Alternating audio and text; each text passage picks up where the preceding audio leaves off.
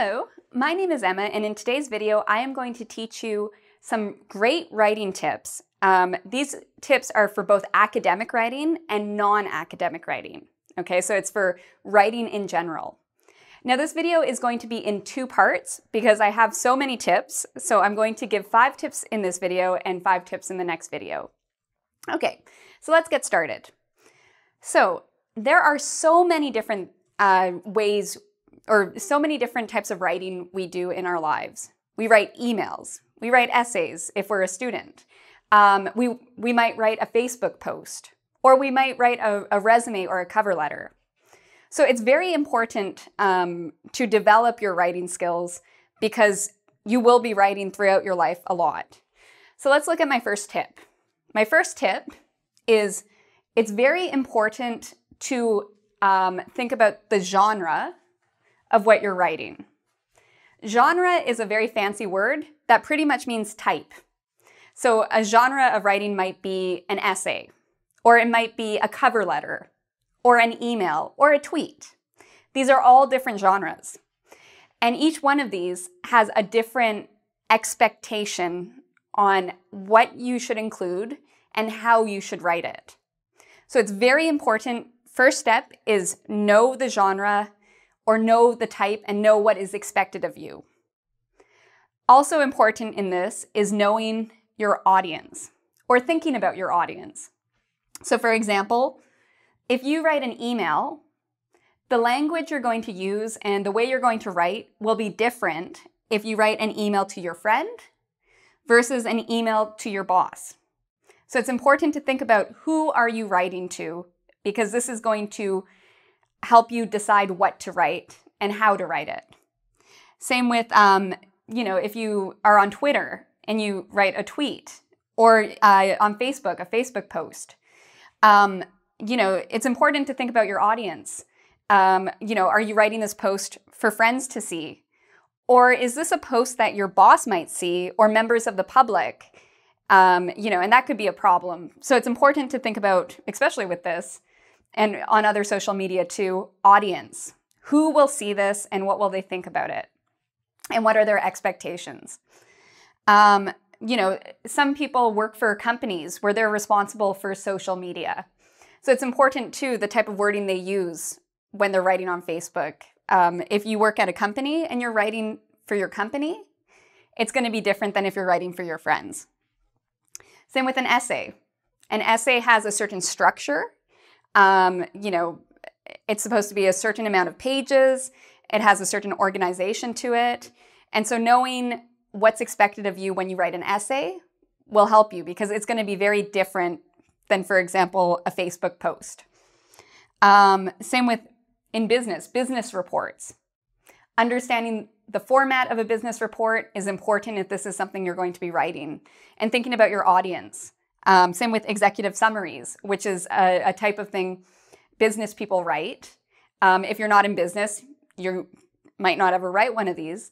But if you are in business, you need to realize that um, audience is important because professionals are going to be reading this and these people are busy. So, you know, knowing your audience and knowing what is expected of you is the very first step to good writing. Let's look at some other tips. Okay, so we've talked about genre or the type of writing you're doing. And part of this is knowing the expectations for how long what you write should be. Okay, so you want to know a bit about length expectations before you start writing.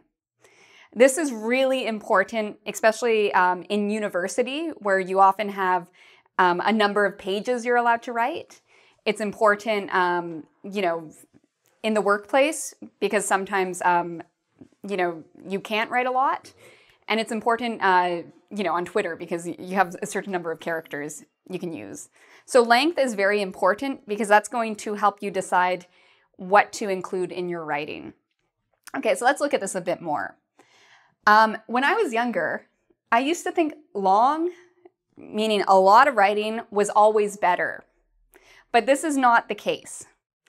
Um, you know, the more you write, maybe you can include more detail, but a lot of the times the person or your audience who's reading what you write, does not have a lot of time, and so they don't want to read long pieces of work. Okay, so it's important to know expectations. So for example, I have here the word short and long. And so this is kind of like the scale. If you write a tweet, it's going to be something short. A Facebook post might be a little bit longer. A paragraph, you might write something like five sentences. If um, in school you have to write a paragraph on something. An email might be a little bit longer than this. A cover letter, you might use a full page. Um, a resume, maybe you might use two pages, but nothing more.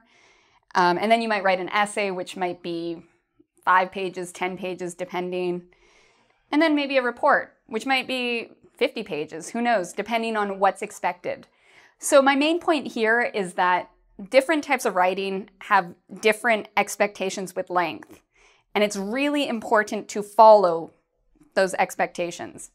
For students who are writing the TOEFL or the IELTS, um, you only can use a certain number of words. So this is very important for you to, to know and to really think about. How are you going to um, get your message across using the right amount of words?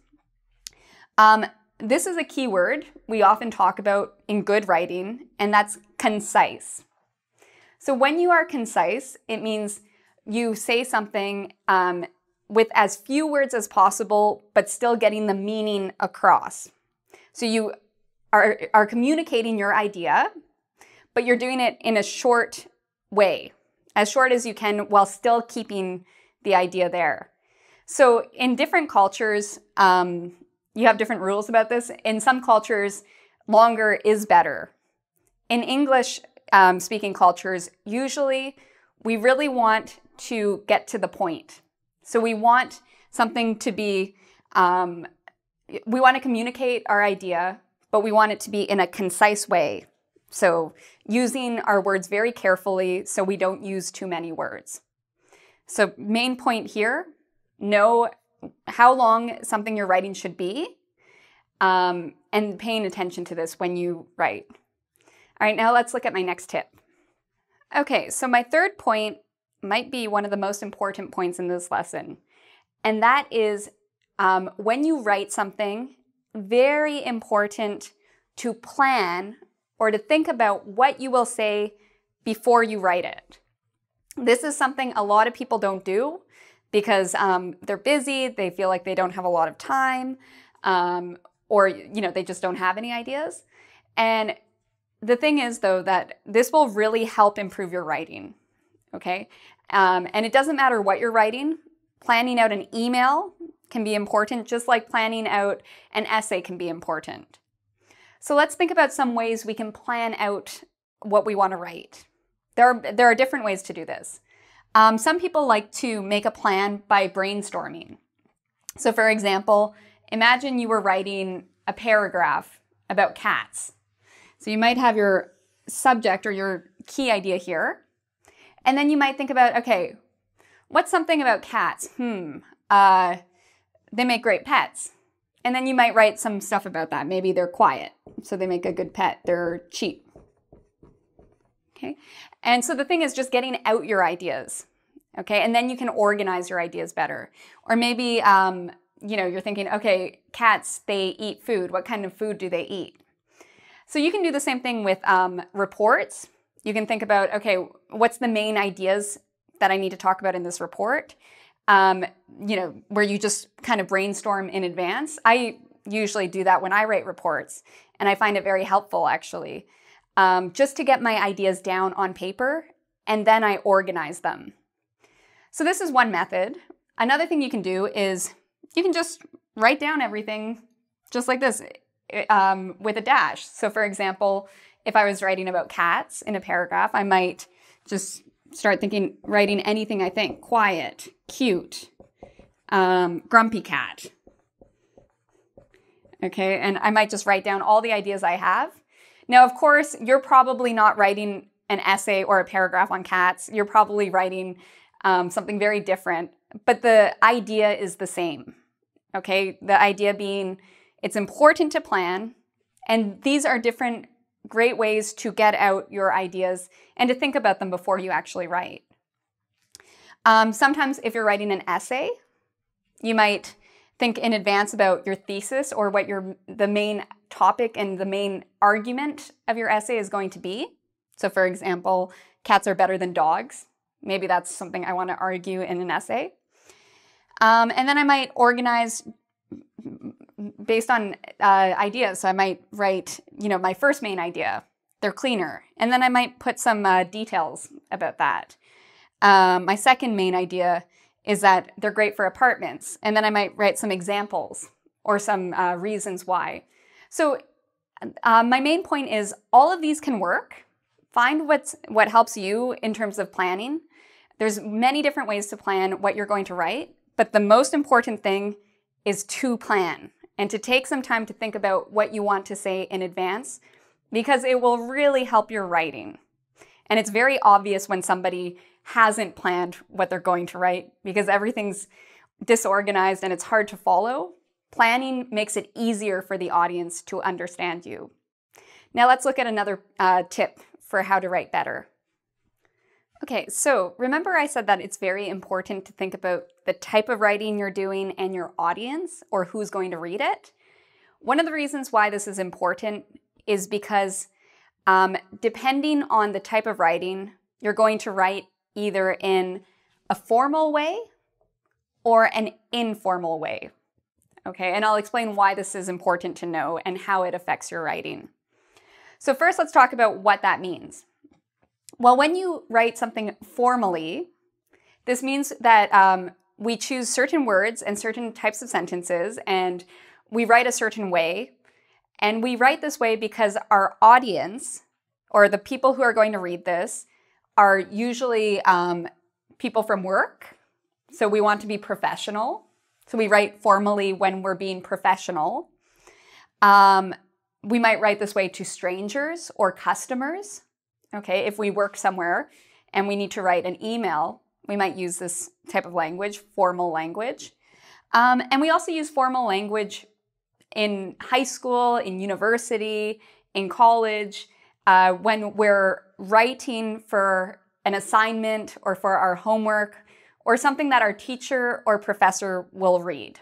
Okay, so we use formal writing mainly in work settings and in academic or school settings. Now, this is different from informal writing. Informal writing is the type of writing you will be doing with your friends. So, maybe, for example, a text message, that's informal. Um, you might use this type of writing when you're talking to children or writing something for children, um, and also on social media. So if you write a tweet or a Facebook post, usually you'll be using informal language. And also with your family too, you usually use informal language. So um, I have here some examples of genres or types of writing that you might use the formal version or the informal version. So under formal, we have essays. If you do that at university or high school, it would be formal. A cover letter, if you want to um, get a job and you have to write a cover letter, then this is going to be formal language you use. A report, if you work um, at a company and you have to write reports, you'll be using formal language. Um, or emails to customers you'll be using formal language. And there's a lot more. This is just some examples. Um, for informal, if you write a postcard to your family, you'll be using informal language. A text message would be informal. Um, an email to your friend, you would use informal language, or maybe a birthday card. Okay, so it's important to think in advance what kind of language you're going to use. Um, okay, so how can we make something formal or informal with our language? There's a couple of ways to do this. The first thing you need to think about is the words you're going to use or your vocabulary. So, different words either fit into the formal category or informal ca category. So, for example, if we're talking about a lot of something um, and we want to be informal, we might use the word lots. So this is an example of an informal word, lots. We'd use this with our friends. If we want to be a bit more formal, we're writing, you know, at the university level, we might use the word many. This word is formal, whereas lots is more informal. Okay. Or same with if we're writing um, an email, and at the very end of the email, we sign our name. We usually say something like from, but we don't use the word from. We can say cheers. If we're writing an email, we can say, you know, cheers, Emma. Um, this would be informal. Or if, you know, we're in a business and we need to be more serious and formal, we might say something like regards or kind regards. Um, same with different uh, words like sorry. Sorry is a little bit more informal, whereas the word apologize is more formal. Um, so it's very important when you're choosing your words because a lot of words fit either into this category or this category, and some words fit into both. It's good to know the level of formality for the words you're using. Now, if you're having a lot of trouble with this and you're thinking, how am I going to know if the word is formal or informal? There's a quick tip um, you can try. It doesn't always work, but in general, longer words in English are often more formal. So the longer words are usually in this category. It's not always the case, but just if you really don't know, it's a good way to guess. Um, and they're usually they come from Latin. So for anyone who's watching who's from France, uh, from Spain, or South America, or Italy, or who speaks um, a Latin-based language, if you have a word that's similar in your language, it probably is a formal word in English, or it's probably something you can use in a formal setting. Okay, so usually the shorter words are the more informal words. So now let's look at some other ways we can um, look at formality, formal versus informal. Okay, so when we're talking about formal and informal writing, another thing to think about is contractions. So what's a contraction? A contraction is a short form of a pronoun like I, you, he, she, uh, we, and uh, usually part of a verb like am, would, will. So the short form is, in this example, I am becomes I'm. I'm is a contraction. Or you would can become you'd, and that's a contraction. We will becomes will for short, and that's a contraction. So contractions um, have an apostrophe here, and it's where um, some of the parts of this word we just remove, and so it becomes will. So these contractions, and there's many in English, we use them in informal writing. So if you're texting someone, if you're writing an email to a friend, this will make you sound more informal.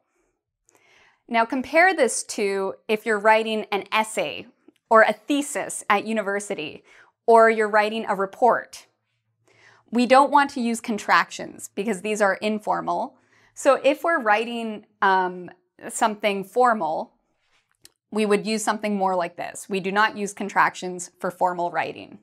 Okay, so that's another reason why we need to know what we're writing in advance because we want to decide if we'll use contractions or not. Um, my next point is about sentence types and sentence lengths. When we're talking about formal versus informal, you'll find things that are usually informal are short. We usually use shorter sentences. And in formal writing, you'll find sentences tend to be longer. Okay, so we can call this, uh, for informal, we can talk about simple sentences. Um, for example, a simple sentence, students are stressed. It's a short sentence that if you know about clauses, it only has one clause. If you don't know about clauses, don't worry. The point is it's shorter. Now compare this to something more complex. When a student begins university, comma, they often report feeling stressed. This is more of a complex sentence. It's longer, and um, you'll notice there's a comma in the middle of it, breaking it up into two clauses. And again, if you don't understand clauses, that's okay. The main point here is this complex or longer is usually informal writing whereas simple structures or simple sentences are more informal. And again, you know, it's not always the case, but in general, you'll find um, longer sentences um, or more complex sentences are more formal. Um, you'll also find informal writing, we use relative clauses more. Um, so if you don't know what a relative clause is, that's okay. Um, these are, for example, uh, they use the word who, which, that, when within the sentence. So an example of a relative clause would be Jane Goodall, who works with chimpanzees, is a, a wonderful woman. So um, if you don't know about relative clauses, I recommend looking this up. Um, in this video, we don't have enough time to talk about them, but they can really help your writing, especially if you're writing something in a formal situation. All right, now let's look at some more tips on how to improve our writing. Okay, so the last thing I'm going to say about formal writing versus informal writing, and I'm talking a lot about this because it's actually a very important part of writing, is um, there. I'm going to talk a little bit about uh, slang, swear words, exaggeration words, and text words, and when to use them. So, slang, it's uh, words we use with our friends, words like cool, um, I was going to say groovy, but nobody says that anymore. Um, so, you know, there's all sorts of different types of slang. It's uh, a word that's very popular or an expression that's popular, but it's not a formal expression. So, cool is a really good one, or awesome. That's awesome. So, slang we use informally. Same with swear words. Okay, so if you say a bad word, um, you know, sometimes you might say something to your friend uh, you might use uh, different swear words when you talk to your friends, hopefully not with um, strangers, but uh, with people you know well. But um, you would not use swear words in a formal writing situation. So maybe you might use it in a text, but you wouldn't use it in a formal writing situation. Also, exaggeration words. What's an exaggeration word? Very is a good example. He is very funny. She is very pretty. Um, he is really handsome. Uh, he's totally hot. Okay? So these types of words very, really totally. We usually save these for informal writing. So if you're in university and you want to say something is very, don't use the word very. Um, there are better words like um, you know, there are a lot of other words you can use as opposed to these ones. Um, another thing I wanted to say is there's a lot of words we use now, um, they're short forms of words, like for example, LOL for laugh out loud, B and 4 for before, um, LMAO for laugh my ass off. These are words we use um, informally, okay? We do not use these in formal writing. Um, so it's important in formal writing to always spell out the word correctly, to use proper spelling, and to avoid some of these words you might be seeing a lot on the internet or in text messaging or on Facebook. Okay, so we've covered um, about formal and informal writing. My last tip for this video is about the importance of using variety in what you're writing. So what do I mean by variety? Well, sometimes when people write, they have certain words that they use again and again and again. And so there's not a lot of variety in their choice of words. Or you might have somebody else who uses the same sentence structure. Maybe they learn the present perfect and they love the present perfect because it took them forever to learn it. So now they use the present perfect in each sentence.